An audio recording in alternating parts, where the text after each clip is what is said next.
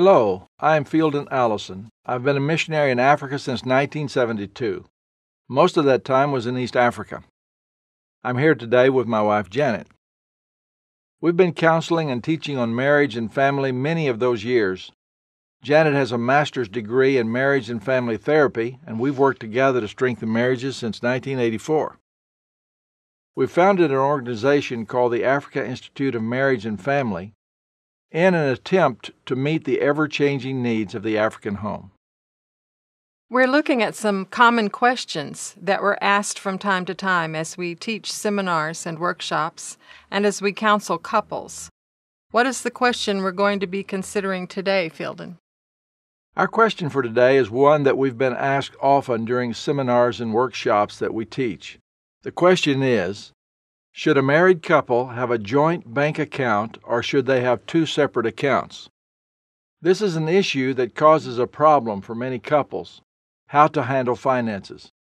One spouse wants to buy certain items and use money in a specific way, but the other one wants to buy different things and has a plan to spend their money in an entirely different manner. Mm-hmm. Or one spouse may not have a plan at all. He or she just wants to be able to spend money whenever he or she wants to on whatever he or she desires. But to be specific, I have seen many couples complain about how a spouse gives money to his or her family members. Mm. The husband may take some money to his parents without discussing it with his wife, and then the wife takes some money secretly to give to her parents. Soon they're having serious financial problems. Yeah, and this kind of problem can bring stress mm-hmm. into a marriage, leading to quarrels and disagreements. Mm-hmm. I have seen problems like this lead to a complete breakdown in communication, leading to resentment. Some couples try to solve the problem by having two bank accounts, one for the husband and another one for the wife. What do you think about that solution, Janet? That may seem like a good solution to the problem if both the husband and the wife have jobs outside the home and they both have incomes. However, in our work with couples over the years, we have seen that those who choose to have separate bank accounts are often just as troubled with resentment and distrust as those who have one bank account or no bank account at all.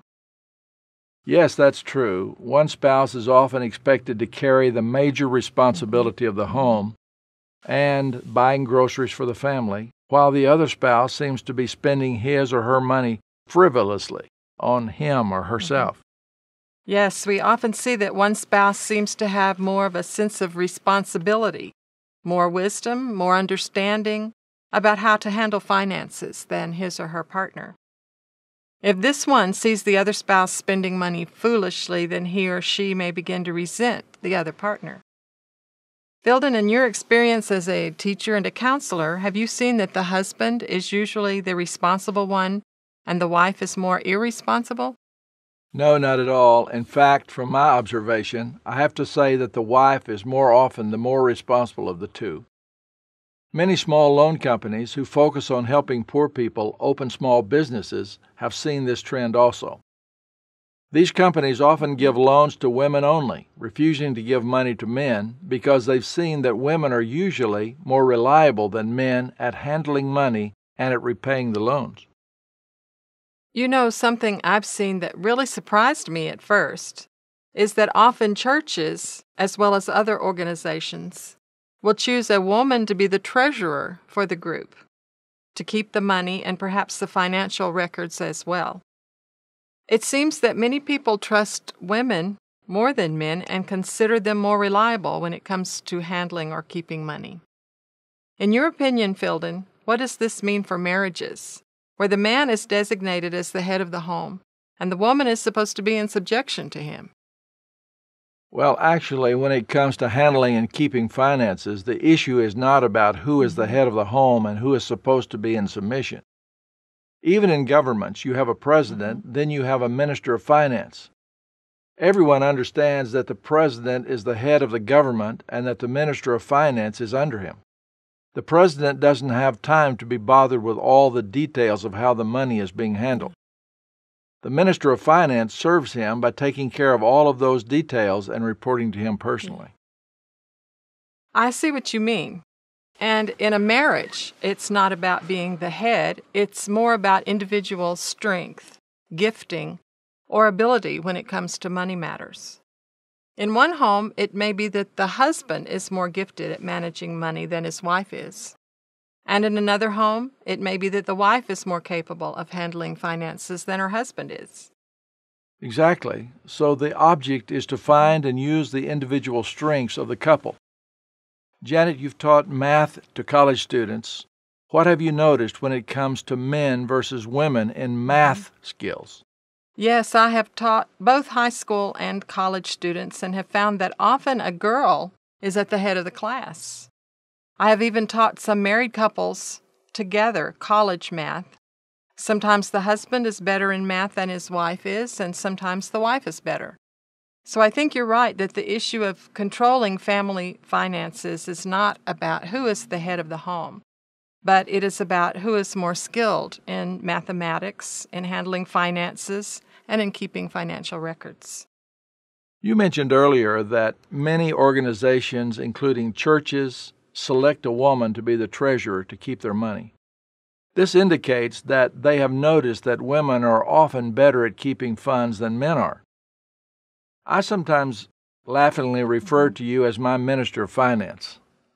Uh, I readily admit that my wife is better at handling finances than I am. It's a, it's a great relief to me to have her beside me to help me manage our money. In those same organizations that choose a woman to manage funds, they usually select a man to be their chairman. So I think we can assume that most people don't see the keeping of the money and financial records as a sign of that person being the one in control. And it may also show that many people can see the benefit of combining the skills and strengths of both the man and the woman, mm-hmm. that they make a stronger team when they're working together. But I'd like to point out here, even though our question was about a joint versus separate bank account, these principles apply to people who don't even have bank accounts. In fact, we can even look back at earlier times before banks became a common thing. The men's place was traditionally out guarding the cattle and goats or hunting for meat, while the women were the keepers of the resources at home and in control of the food stores, a most precious asset. The cattle were like their bank accounts, which the men kept secure, but the women controlled their assets that had been liquidated. So we see that cooperation is not a new concept at all. It's just become a bit more complicated in our modern economic situation. Well, that's a good point. Getting back to our question of whether a couple should have one joint account or two separate accounts, I think we can see the strength of having a joint account. In fact, consolidating their accounts into one account will actually save them a lot of money on fees. I don't know if many people notice how much money the bank takes every month out of their accounts for banking fees. Close an account and save some money. Anyway, a couple should share everything that they have. When two people get married, all of their individual assets then become ours instead of just mine so they should be jointly managed by both of them together. Mm-hmm. When God created woman, he made her in order to be a helpmeet for man. In Genesis 2:18, we learn that God decided to make a helpmeet for Adam. Yes, when we look at that verse in Genesis 2:18, we see that God said, "It is not good that man should be alone. I will make him a helpmeet for him." God saw that man desperately needed a helper in more ways than one. I sometimes wonder how did many couples ever get the idea that the term helpmeet signifies inferiority or having mm-hmm. less ability? We know that woman is weaker physically than man, as Paul points out in 1 Peter 3 7, where he says, You husbands, live with your wives in an understanding manner, giving honor to the woman as the weaker vessel and as joint heirs of the gracious gift of life. We can all agree that God made man to be the stronger of the two physically. However, this has nothing to do with her mental or spiritual mm-hmm. capability. Exactly. The term helpmeet simply means a helper who meets the needs of the man. The woman is to work alongside her husband, helping him in any area where he is weak and supporting him in any area where he is strong. They should be willing to fill each other up, using each other's strengths and covering each other's weaknesses. In other words, as we look at this matter of finances, if the husband is good in dealing with money, then the wife should meet his need by cooperating with him, helping him to make a monetary plan, and then very conscientiously following that plan. However, if the husband is not strong in managing finances, his wife can meet his need by advising him and by handling the funds for him and or keeping financial records in a trustworthy manner. I like the way you explain that, Janet. What we see when a husband and a wife are working well together is two people complementing each other, filling in for each other's weaknesses. And as co workers, there should be no secrets between the 2 mm-hmm. When one of them spends money secretly, this leads to suspicion and distrust. Yes, when one partner sees money going out and there's no evidence or information given about where it's going, that partner may begin to suspect that the other partner is spending money on someone else. When my friend Lois learned that her husband Everett, this are not their real names, had been having an affair with another woman, I agreed to work with them to help them reconcile. One of the first questions Lois asked Everett as we were progressing in counseling was what he did with the onion money after they had harvested. He had taken a load of onions to market one day, but never adequately explained what happened to the money. Sure enough, during the counseling, he admitted that he had used the money to buy clothes for his girlfriend and her children. Lois and Everett's marriage survived and was eventually transformed because they got the help they needed. However, we can see just how sensitive this issue of money can be. You know, that goes to show just how important it is to be mm-hmm. open about money matters and to make financial decisions together. Even if the partner knows that the money is going to the other one's relatives, it can lead to resentment when they didn't decide together how to use their money. Disagreements over how money should be spent can lead to marital problems and a buildup of resentment. You're so right. Most of us have a limited supply of money. And when one sees large amounts of that money being used without him or her having any voice in making that decision, it can cause problems that divide the couple. So, regardless of whether a couple has one, two, or even three bank accounts, they should communicate with one another to make decisions on how all of their resources should be used. Yes, it's absolutely essential mm-hmm. that a couple sit down together and plan their budget. Both the husband and the wife should have some input into how their money will be spent. Each of them should have a, a say and tell what personal and general needs or desires they have, and then together they make decisions on how to divide their resources mm-hmm. among all the categories that they have come up with. But, Fielden, what happens when they disagree on how the money should be divided between the different needs that they've come up with? I think that sometimes couples decide to have separate accounts in the hope that they can avoid conflicts. However, as we've already seen, even having separate accounts can lead to suspicion and resentment. The only sure way to avoid misunderstanding is to sit down and decide together how their finances should be divided. It goes back to the idea of oneness that we read about in Genesis chapter 2 and verse 24. Speaking about the husband and the wife, God says, And the two of them shall become one body. This concept of oneness encompasses their resources among all other things. Ah, you're absolutely right, Fielden.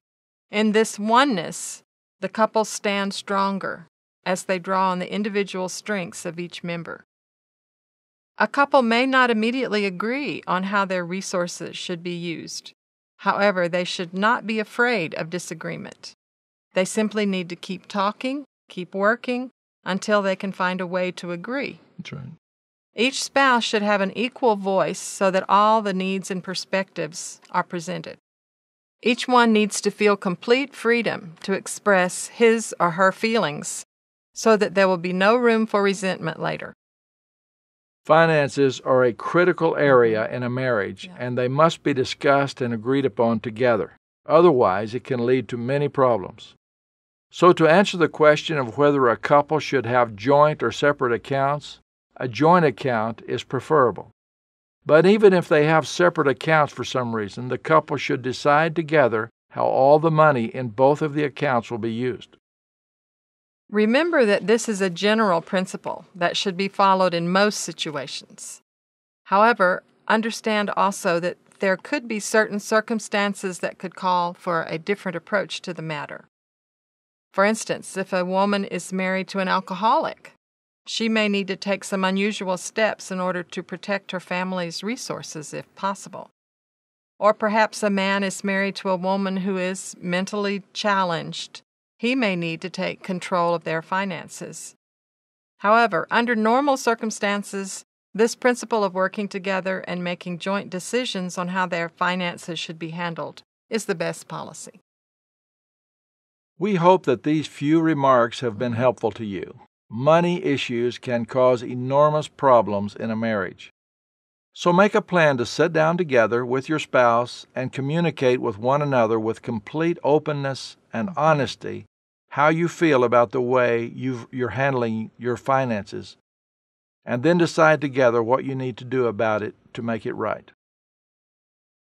If you find that you can't work things out or come to an agreement on how to proceed, then look for a wise person in your church or your community a person who has experience and understanding of these issues, a person who obviously has a strong marriage, him or herself. Then spend some time with this person and his or her spouse and ask them for advice. If there is any area in your marriage that is troubling you, seek out the help that you need. Don't just let your marriage deteriorate.